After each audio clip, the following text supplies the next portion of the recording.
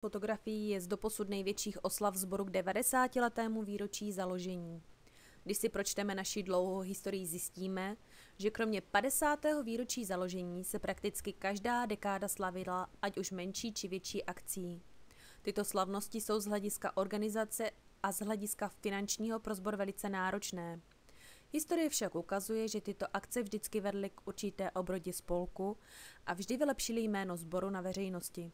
Proto je důležité věnovat se těmto slavnostním chvílím a doufáme, že stejným výsledkem skončí také letošní, historicky největší oslava založení sboru.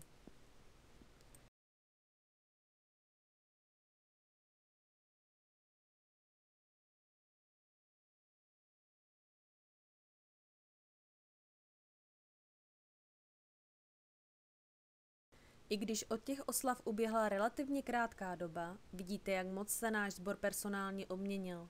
Mnozí členové zachycení na fotografiích už bohužel nejsou mezi námi.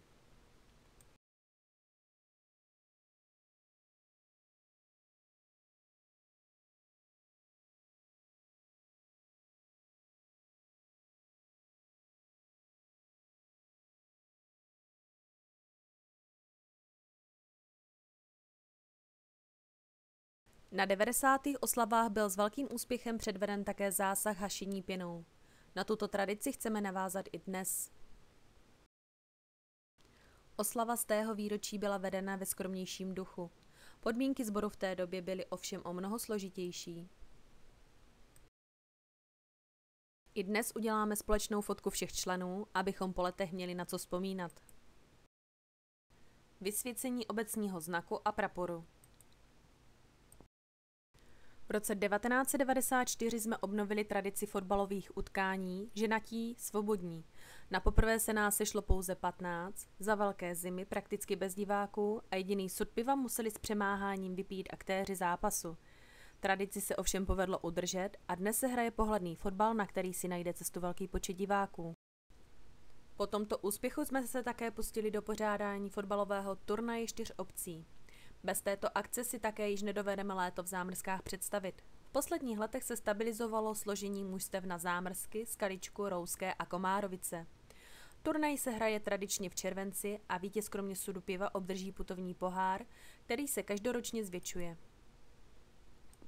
V loňském roce jsme se společně s obecním úřadem podíleli na organizaci dětského dne. I letošní oslavy jsme koncipovali především pro děti.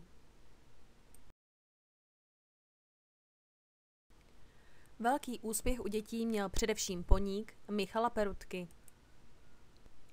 V posledních deseti letech náš sbor odpracoval zřejmě nejvíce brigádnických hodin v historii sboru. Mezi naše hlavní aktivity patří především zvelebování areálu u Luže. Ze stavby moderních záchodků jsou i tyto fotografie. Pravidelně se účastníme oslav v okolních zborech. Tradiční jsou především oslavy svatého Floriána. Fotky jsou z oslav v Chorini. V rámci okrsku jsme v posledních letech nevynechali soutěž prvního kola. Můžete shlédnout několik snímků z posledního okrsku pořádaného v naší obci.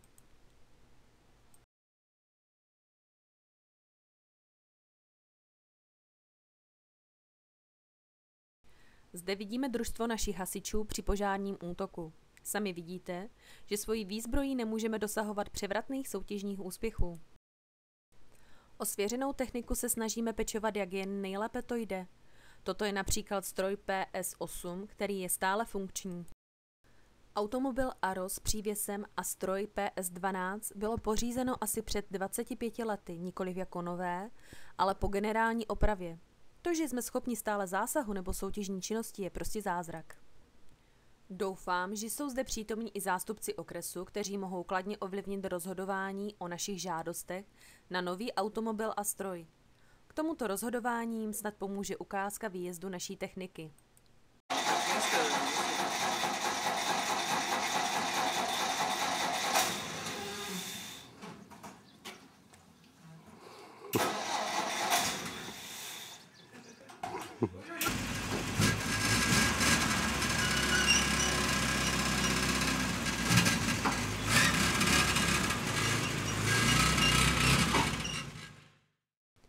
Pojďme ale skončit pozitivně.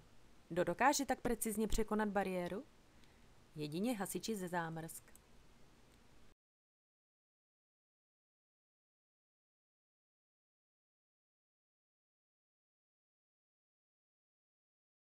Přijměte srdečné poděkování, které patří nejen těm současným, ale i bývaným členům našeho sboru za velmi obětovou práci. I tato prezentace měla ukázat, že jejich dobrovolná práce má smysl a její výsledky dokáží překonat staletí. Pojďte i vy oslavit naše výročí.